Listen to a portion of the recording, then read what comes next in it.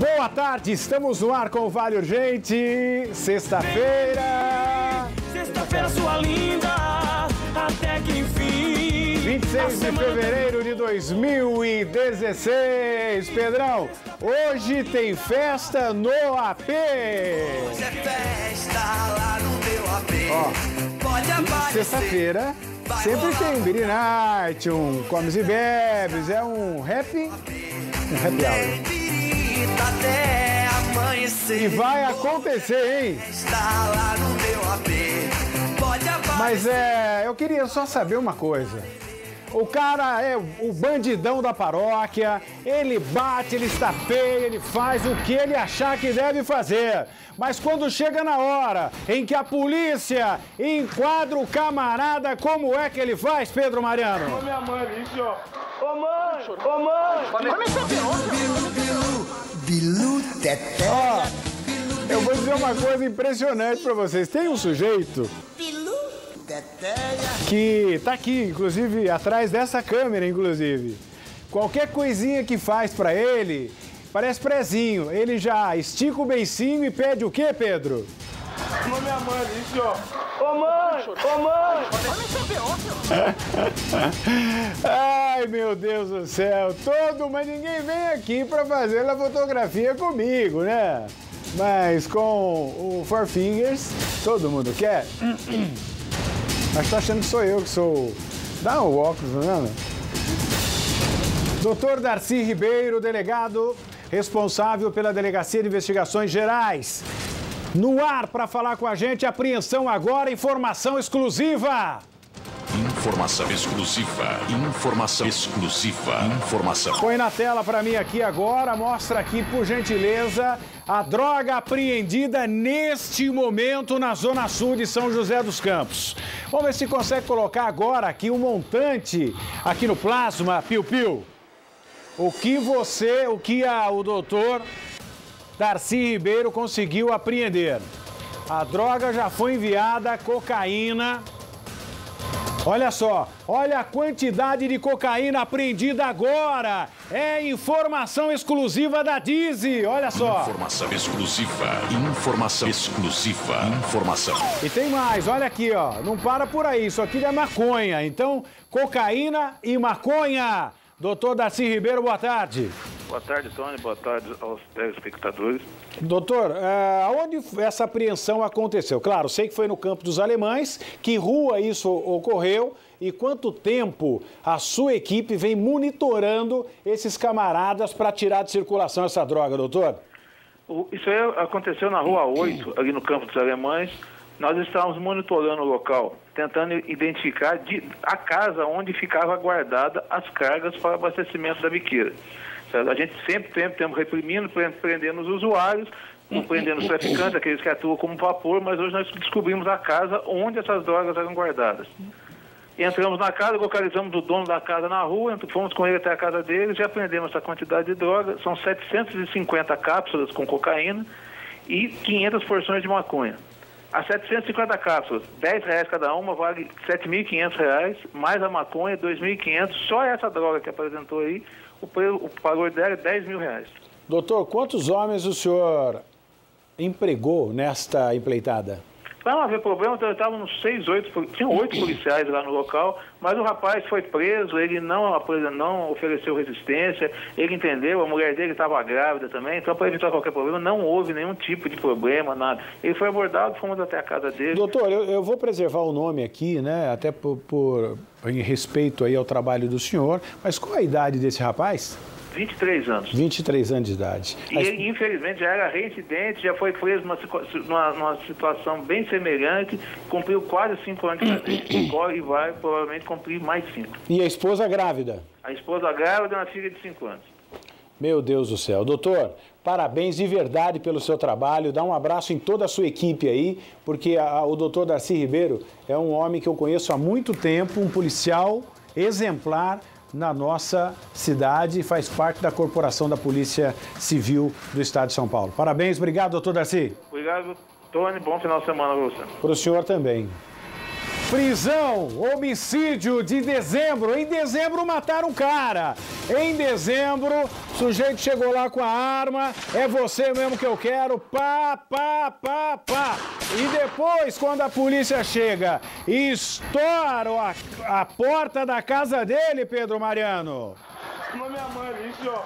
Ô mãe, ô mãe. Vai meter B.O., senhor. Vai meter B.O.. Eu queria saber de quem é essa voz. Vou meter B.O., vou meter B.O. De quem é essa voz? Alexandre o Grande. Fale pra gente de quem é esta voz.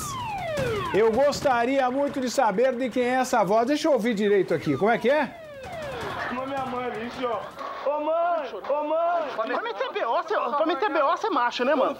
Pedro, corta só essa parte. Pra meter B.O., pra meter B.O., você é macho mesmo. Corta isso aí que eu não vou falar o nome, pode ter certeza. Foi preso hoje pela Polícia Civil o segundo envolvido na morte de um comerciante no dia 11, 11 de quê? 11 de dezembro do ano passado. Isso foi no bairro Campos do São José, zona leste de São José dos Campos. O primeiro envolvido foi capturado ainda em dezembro. O investigador Alexandre Silva é quem conta esse caso pra gente. Como foi? Mais esse trabalho. Boa tarde, Alexandre. Tony, é isso mesmo. Acabamos de prender aqui, estamos esco- escoltando o rapaz para delegacia, os trabalhos de polícia judiciária. É, esse rapazinho é, figura como autor de um homicídio que ocorreu em dezembro também, assim como o outro. São dois casos que ocorreram em dezembro. Os dois casos estavam com os autores aí procurados. De manhã a gente prendeu relativo a um homicídio e esse agora também de dezembro. A gente prendeu ele ali na Zona Norte. Ele, segundo o que ele fala já aqui preliminarmente, ele matou a vítima porque a vítima teria matado o irmão dele e estaria ameaçando ele também. Essa que é a, a justificativa, se é que existe uma justificativa para matar uma pessoa. Como eu disse, nós estamos encaminhando ele para a delegacia para apresentar para a autoridade policial para os demais trabalhos de polícia judiciária. Olha, dentro dessa colocação do investigador aí, teve um jornalista que entrevistou uma pessoa e depois fez uma chamada assim. O bandido matou o filho, matou a mãe sem motivo aparente. Pelo amor de Deus, né? Bom, tem aí a caçada? Mostra pra gente aí como foi o trabalho da polícia.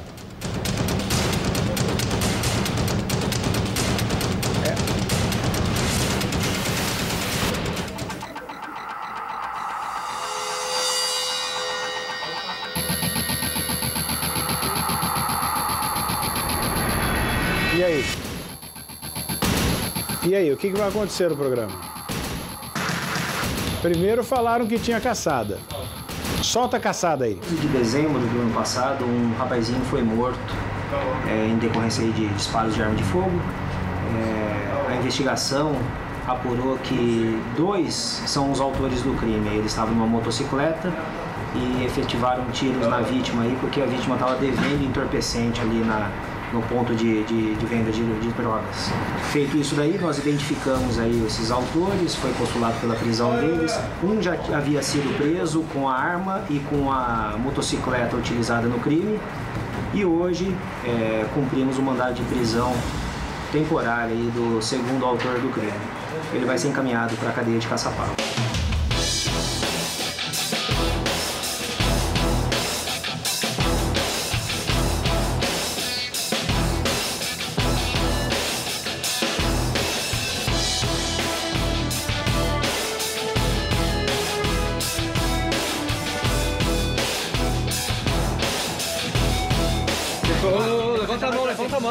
Levanta a mão.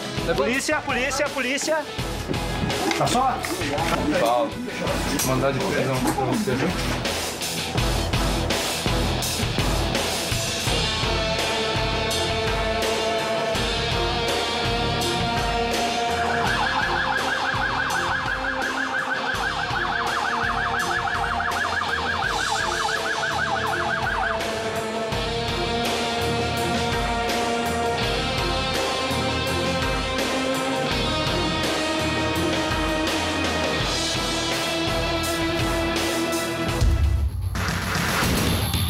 Caso encerrado aí, né? Foi, e não foi na zona Foi na Zona Leste. Só para corrigir, não foi na Zona Norte, foi na Zona Leste esse trabalho aí.